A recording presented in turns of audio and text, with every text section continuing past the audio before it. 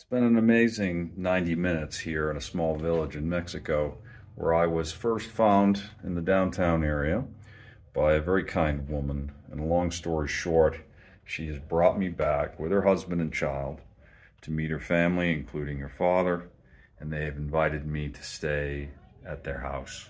They're setting up a room for me. I'm about to use this space here.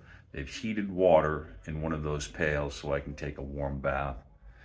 Once I'm finished, I'm going to join them for dinner and then rest. They've already asked me if I want to rest after dinner, so I, I, I, I almost cannot speak the kindness that has come from these folks.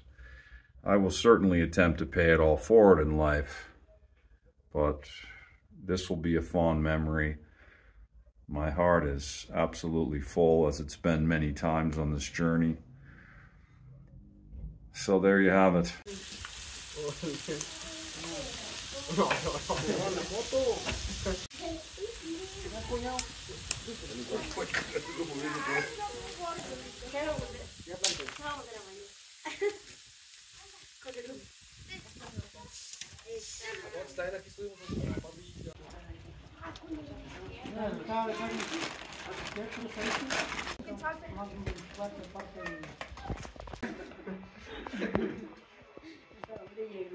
que habrá comido picharro? No me Está peligroso. Quiero otro. Sí, un. Ya que vino aquí, un.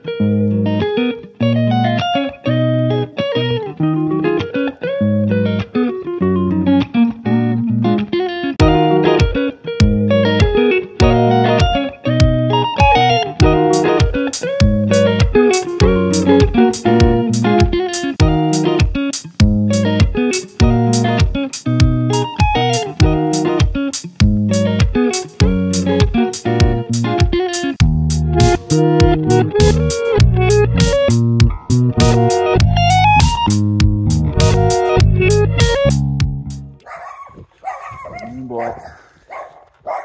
Alarms are going off in the village. Otherwise, headed back to the highway after a very good night of sleep. Not far were two horses and two roosters. They spent some time this morning harassing me.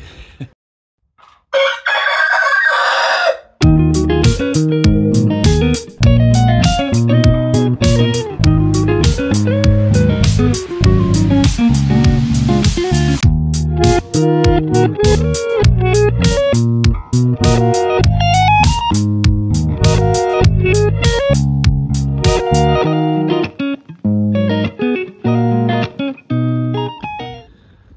departing the shop where it all began last night in town, surrounded by friends once again, total strangers.